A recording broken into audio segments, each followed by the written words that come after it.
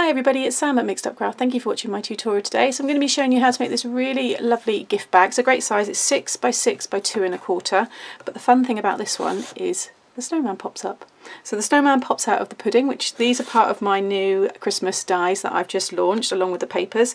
And I just wanted to show you some other fun ways to use them. You don't always have to put them onto cards. So I'm going to do this one today, but I'm also going to use the 5x7 dies and show you how you can make that gift bag as well. Because I know people will ask as soon as I show it. So I thought I'd do two gift bags in one tutorial. So let's get into it. Okay, so first of all, for that 6x6 size, you will want two pieces of cardstock that are 8 and 3 quarters by 8 and a quarter. Okay, so along the eight and three quarter side, you want to score at six and eight and a quarter.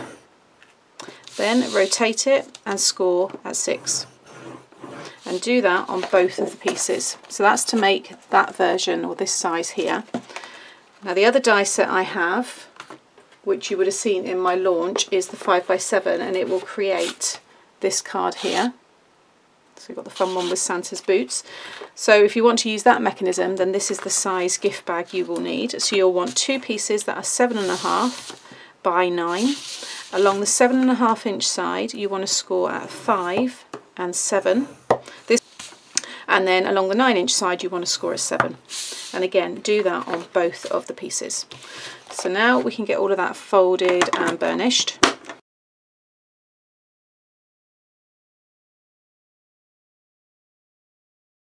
Okay, so I've just folded all my score lines. So first of all, I'll do the six by six ones. With the half inch tab on your right hand side, you want to cut up this score line here. I made this during my launch um, Facebook Live, so some of you will already be familiar with this. And then cut up this one just to the first score line. And then this one here, I'm just going to cut on a little angle just to remove and then we can start to create this tab and do the same on the top there. Okay, so that's our tab. This piece here, I'll just take a couple of wedges off of each side, just so nothing sticks out. Doesn't matter if they're a bit wonky like mine are, but you want to repeat that and do exactly the same on this one, and you're going to do exactly the same on the 5x7. So again, there's my half inch tab. You're just going to cut up to the first score line.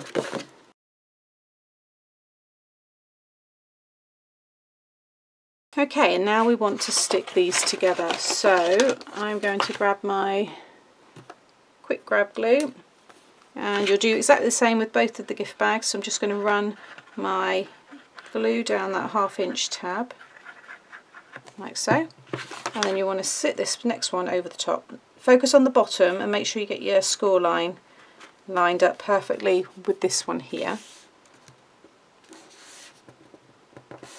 like so and then if you fold that half of that one over and again pop your glue down your tab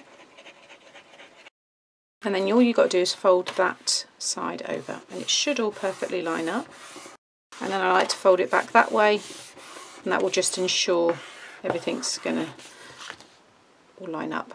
Now if you wanted to keep this as a fold flat to store for the moment, then I would suggest don't seal the bottom just yet because you can still decorate all of this without closing it off at the bottom. But it just means if you do want to make a few of these, you can see how easily you can store them away until the last minute.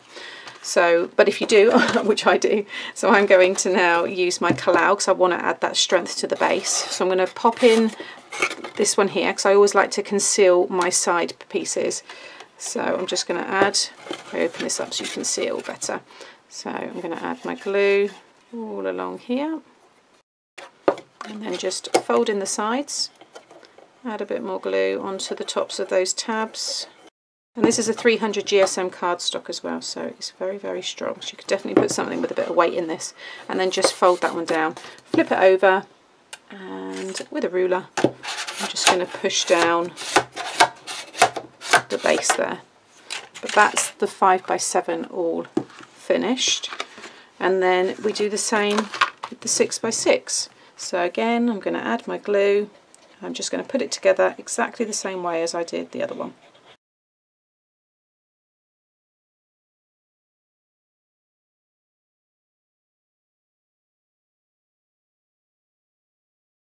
Okay, so there are the bags all stuck together. So now I'm going to start decorating. So I'm going to do the 6x6 first. So this is the 6x6 mechanism and you can see it creates your Christmas pudding or the cupcake or you can turn it into a muffin. You can also just use this piece on its own so you can create like a snow mound, sand and things like that which I've shown in all of the samples. If you've missed my sample and release video I'll link it up here and then you'll be able to get a bit more inspiration as well. So what you want to do is die cut, in my case I've die cut it in this brown here because it's going to be the base of my pudding. That's that one.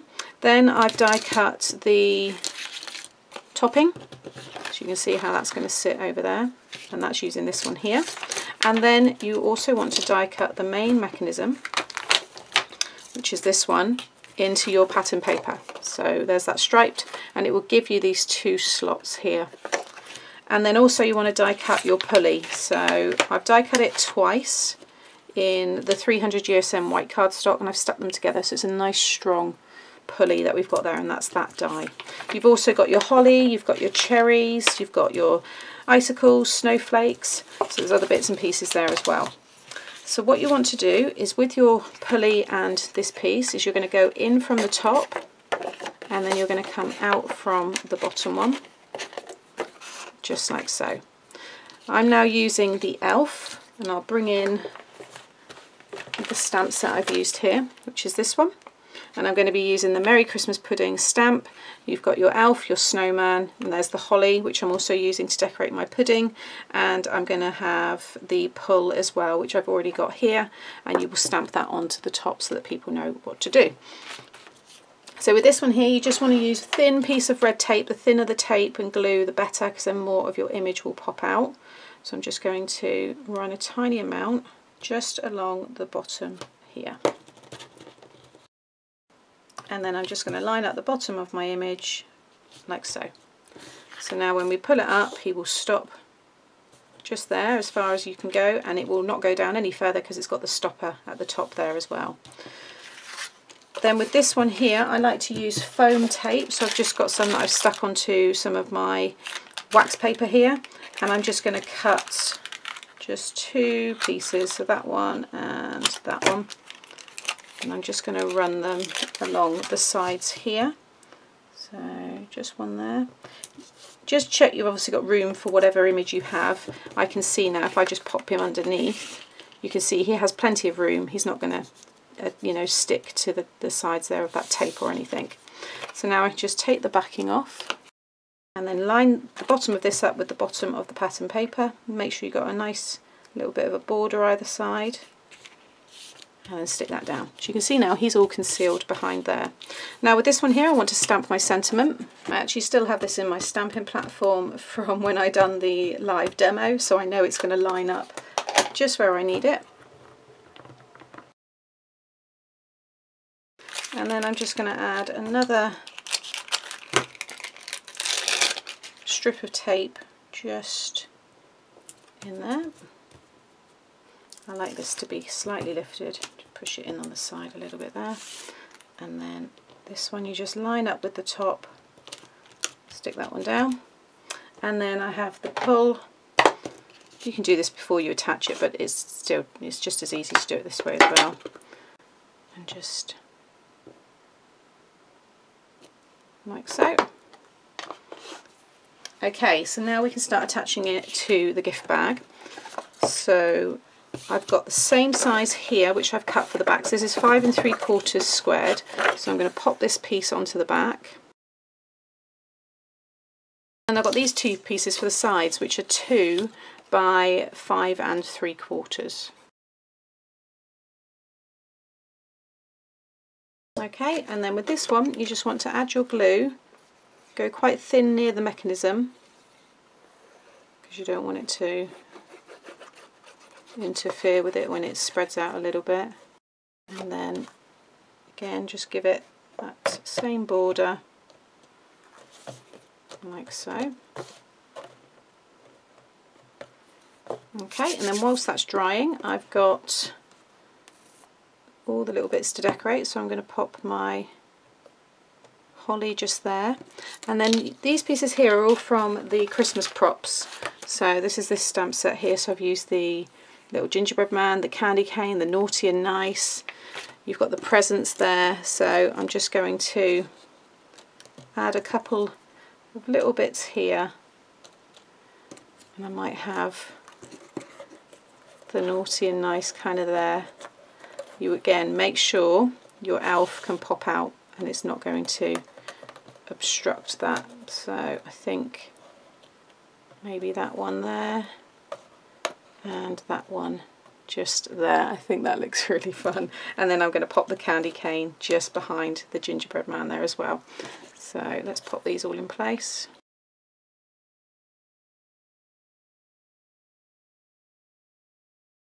Okay, so that's all done. So now I'm just going to punch my holes here. Said during the live I've given my um, smaller handheld punch to my mum. So I am having to use my very large crocodile, but it's okay.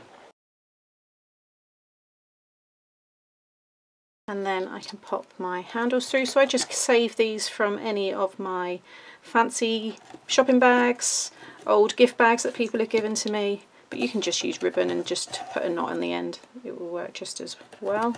But now if I pull that all through, you have a really lovely gift bag. All you've got to do is put some tissue paper over the top and then up pops that wonderful elf. I think it's so cute. I'm really, really pleased with that one. So that is the 6x6. Now I'm going to show you how to decorate the 5x7. So this is the 5x7 die set. So this will create your parcel and your chimney. So I'm going to do the chimney today and I'm also going to add a few other bits and pieces. So I've already gone ahead and cut the square die here and this rectangle one and this will give you your chimney. I'm going to stick that on some foam. Again, I've die cut the pulley here with two pieces of cardstock and just stuck them on top of each other so it's nice and strong. And then this one here, I'm actually going to die cut this one. So again, this is the papers from the paper pad. I've just cut it down a little bit, but now I'm just going to make sure I've got this image in the top right hand corner which I've been using a lot. I'm just going to pop a little bit of tape just along the top there and run that through. Pop it down there as well. I'm just going to run that through my machine. And then again with your pulley you're just going to slide it in the top and then out the bottom like so. Again before I've stuck it all down I'm just going to stamp the pull and it comes in both of the stamp sets. So this one here, you have your Santa and Rudolph and the presents and lights and his boots, and you have the pull stamp there. And then I've got my Father Christmas, so I've already coloured him in and cut him out. And again, using that same red tape, I'm just going to put a very thin amount along the bottom. And then I'm just going to attach him like so. Now with the chimney I'm going to be using my stencil which is also new so just pop this to one side and I'm just going to ink up the base here so I'm just going to lay this down I'm not too worried about the top because this is going to cover it so I just want to make sure I line up my stencil I can just see the bottom there through the stencil so I'm just going to hold it in place and then I've got this brown ink and I'm just going to go over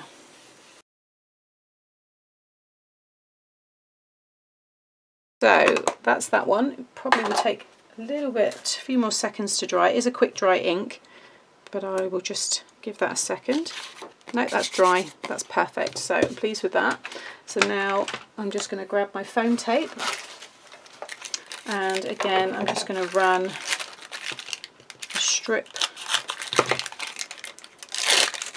along this one. Stick this one over the top like so. So we can see our chimney now coming together. Then I have the snow here, which I'm going to stick on the top. And this one also comes in the Builder Scene stamp set. You've got it here. You've also got brickwork, so if you don't use the stencil, you can use that. And again, I've shown that on samples. But that's the one that I'm going to be using. So I'm going to attach that. And I'm, I think what I'm going to do actually today is I'm going to use the fluffy stuff. So I think I'm going to cover it and then heat set it with this because I've not used it yet but you can add glitter to this which you've seen me do so I'm just going to add this all over in fact I might go over the actual I'm going to cover this whole piece so yeah cut it out and then let's see how this goes like I said I haven't done it yet I've used the stuff lots of times but I haven't done it on this this one yet. And for those of you that haven't seen it, this is really awesome stuff. The more that you use, the more you will, it will expand. So, okay.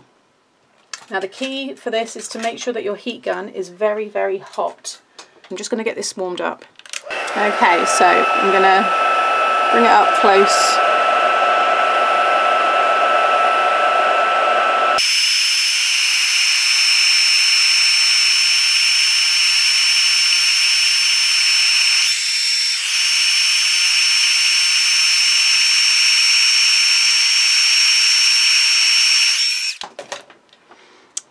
Okay, so now if I bring this up, look at that. It's so cool.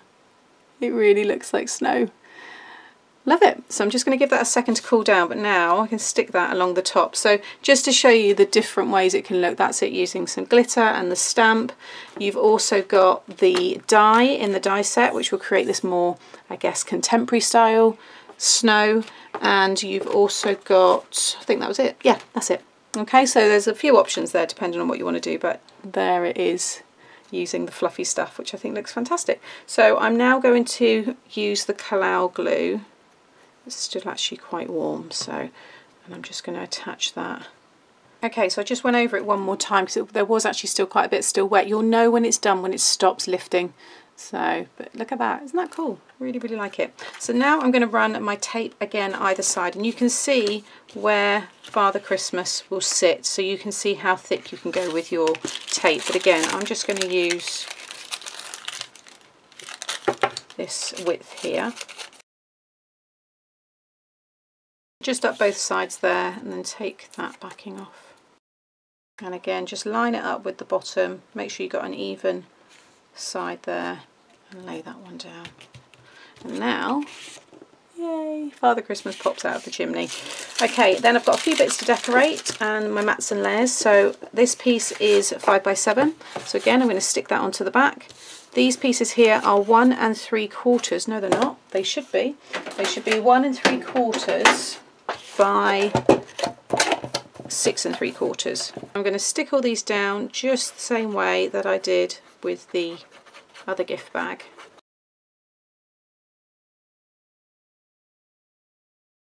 Okay, so that's it now attached to the gift bag and again it just it's so much fun. I love doing these. I'm going to hole punch and use this brown kind of handles that I've got. But I just want to talk through quickly about the Rudolph here. So you'll see if you've got the dies, the Rudolph die is this solid die. So and a little tip here as well on how to line up your dies. So I thought I'd keep this one in. If you just die cut a piece of cardstock, just with that on its own without the stamped image and use that as a template, you then line that back up with your stamped image, okay? And then just pop your die into there, it will lock into place. Tape all of that down and I'm going to run that through my die machine. The other thing you could do is die cut this again in white and then just put a piece of double-sided sticky tape on the back of it and lay it you know down onto a surface or onto your stamping platform and then line up your stamp and stamp over it. So that's two ways to do it just in case you're kind of thinking well I can't see how to cut my stamped image. This is the easiest way to do it. So I'm just going to pop my die in place but also make sure the paper underneath doesn't shift. So just tack that as well. So I'm just going to run that through. Okay, and now that's all just coming apart. Oh, I think because I used the glossy accents on him beforehand, it's taken it off his nose, but I can just go over that again in a minute. But now you'll see that's all just die cut. Okay, so that's the easiest way to do that. Yeah, I'm going to put some red Nuvo drops on his nose because don't put your glossy accents on and then die cut it. One to remember there. And then I've got all these pieces now to decorate.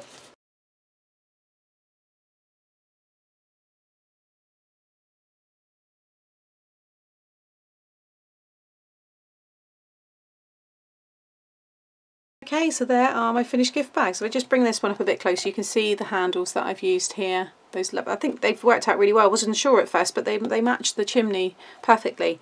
And you can see he's now got a glossy red nose, which looks fantastic. Loving the snow. Definitely recommend that. I'll link it below. It's amazing stuff. And then you can see here, this one, like I said, a little bit different to that one because I've just added a few more of the props, but you've got the wonderful elf that pops up there. And again, Father Christmas waving hello and then this one you have the snowman.